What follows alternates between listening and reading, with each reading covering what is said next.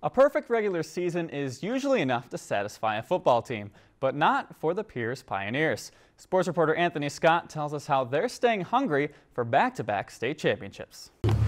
Set, hunt! It's win or go home, so they just got to stay hungry and play the best game every game.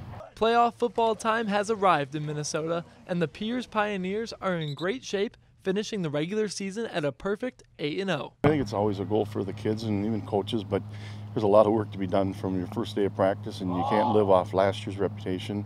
Things came together, we stayed healthy, kids worked hard, and with that, we're lucky to be where we're at right now, 8 0.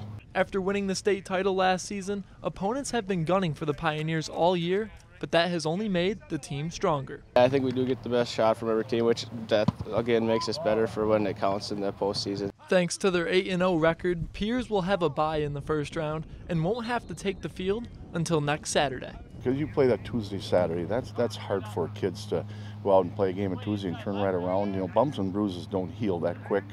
Gives a little time to prepare, work on the fundamentals, uh, go do some scouting that night of our opponent we will play and then hopefully get ready for, for the semis. With the extra week to prepare, the Pioneers will be concentrating on one thing.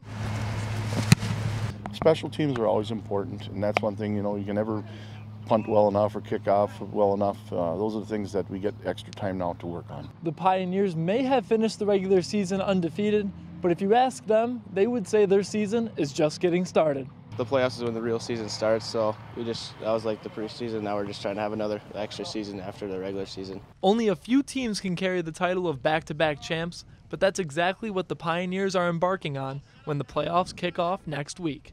Reporting from Pierz, Anthony Scott, Lakeland News. If you enjoyed this segment of Lakeland News, please consider making a tax-deductible contribution to Lakeland PBS.